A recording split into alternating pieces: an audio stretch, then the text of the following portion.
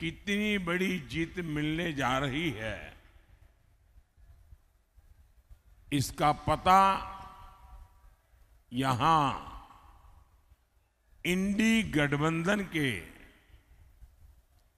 एक बड़े नेता की बातों से भी पता चलता है। वो जानते हैं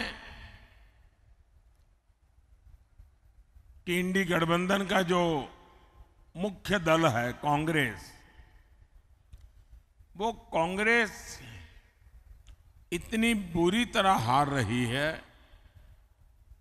इतनी बुरी तरह हार रही है कि उनके लिए मान्य विपक्ष बनना भी मुश्किल है।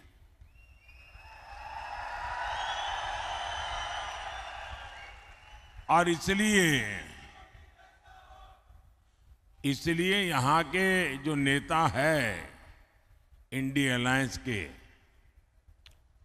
यहाँ मतलब नासिक के नहीं, महाराष्ट्र के, उन्होंने सभी छोटे छोटे दल जो है, इन दलों को ये सुझाव दिया है कि चुनाव समाप्त होने के बाद इन सभी छोटी पार्टियों ने कांग्रेस में मर्जर कर देना चाहिए। यानी अपने अपने शटर बंद कर देने चाहिए। क्योंकि उनको लगता है कि अगर ये सभी दुकानें उस दुकान में मिल जाएगी तो शायद शायद इतना नंबर हो जाए ताकि वो मान्य विपक्ष बन जाए। ये हाल है इनका। साथियों, ये नकली शिवसेना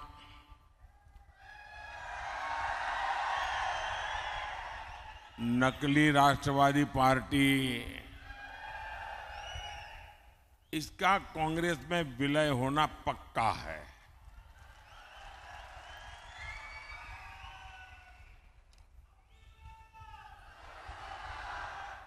और जब ये नकली शिवसेना का कांग्रेस में विलय हो जाएगा, मुझे सबसे ज़्यादा याद बाड़ा साहब ठाकरे की आएगी।